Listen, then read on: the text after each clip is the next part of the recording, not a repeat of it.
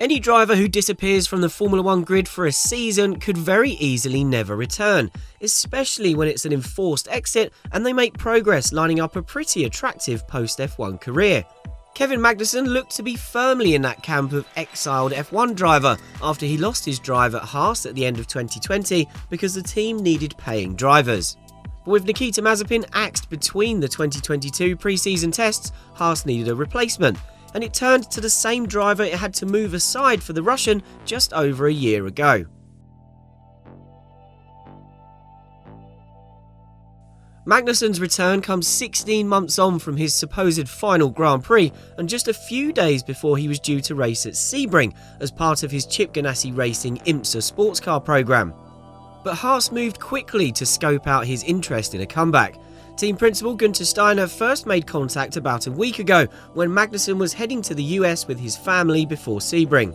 Magnussen decided to go to America anyway as he wasn't sure if the call would come to anything. When Magnussen got to Miami, Steiner called again and confirmed it was on. That prompted Magnussen to leave the States immediately to sort out his contracts with Ganassi and Peugeot. Neither of those deals had a clause allowing Magnussen to leave for F1, but the teams chose not to stand in his way. To that, Magnussen says he feels privileged to have worked for true racers who understood his situation. They didn't like it, but they understood.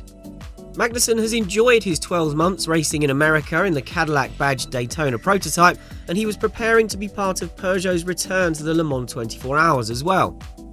It was a welcome break from the lower midfield misery that came to define the final two years of his previous four season spell in F1 with Haas and even Magnussen was surprised that the prospect of an F1 return appealed so much. He said, I could feel it in my stomach that I wanted to do this. I could feel it. I didn't know that I missed it that much, but when I got the opportunity, I was like, yeah. I said yes immediately. Then I thought, ah, should I have said yes? Was that clever? And very quickly, I was like, yeah, I've got to do it. It's too exciting. Magnussen has been critical of F1 in his absence. He even said he would not come back to race in the midfield. By that, he says he meant a return to the situation Haas was in back in 2020. That year, Magnussen and teammate Romain Grosjean, who had been regular points challengers for Haas in 2017 and 18, had been reduced to making up the numbers as the team's fortunes nosedived. That's the situation Magnussen had no interest in returning to. But F1's major technical rule change for 2022, Haas's renewed efforts behind the scenes, and a multi year contract were enough to make him realise he still had a big itch to scratch in F1.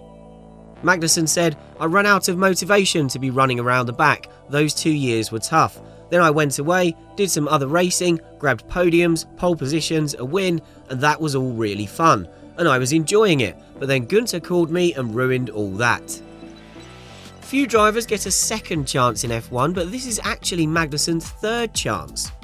It's easy to forget that the fresh faced debut podium finisher who drove for McLaren in 2014 then spent 2015 on the sidelines before returning with Renault in 2016.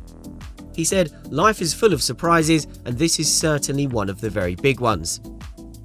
Before we move on to why this move made sense for both sides and the impact it can have on Mick Schumacher, this is a quick thank you to everyone who has subscribed to our channel. Whether you've been with us for a long time or you're one of the tens of thousands of people who have joined us in recent weeks.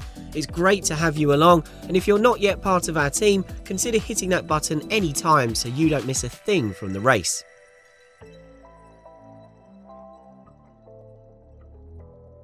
This is not as simple as Haas just going back to its old driver because it's what the team knows, it's comfortable and it's safe.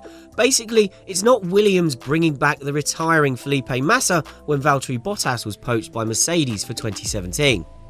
It's easy to forget Magnussen is only 29. One of his most interesting points as his F1 career came to an end was that he felt a cruel irony that he was peaking as a driver right when he had no future in the championship. There were plenty of people high up the food chain at Haas who felt Magnussen had really blossomed during the team's struggles in 2019 and 20. He developed into a driver who then didn't have the machinery to showcase his growth. Magnussen is an excellent option to bring into the fold on short notice and young enough that a multi year deal is worthwhile.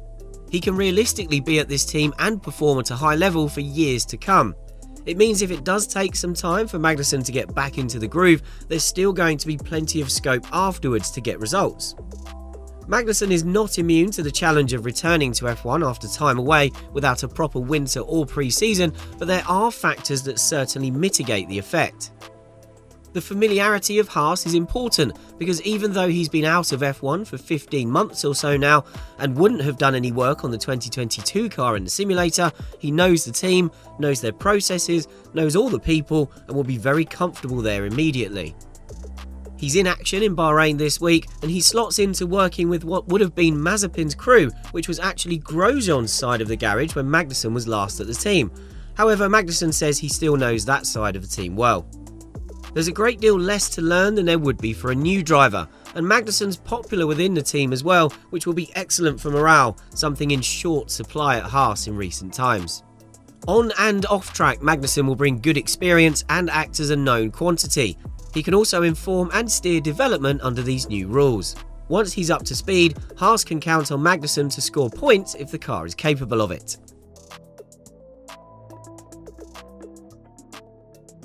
Magnussen can also be a really good benchmark for Mick Schumacher, who now has a teammate he can rely on to be a mentor, but also a serious competitor.